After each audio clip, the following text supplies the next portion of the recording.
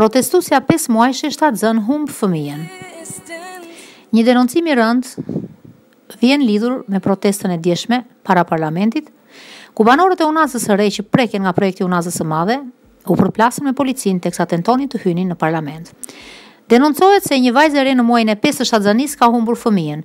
Deputetja demokrate Albana Vokshi thotë se Eriona Dozhani humbi fëmijin në muajin e pestë pas dhunimit nga policia, të cilët i arrestuan një ditë më parë dhe bashkëshortin gjatë protestës para parlamentit për mbrojtjen e shtëpive të kryqëzuara për shembje për llogari të një vjedhje kryeministrore, miliona euro.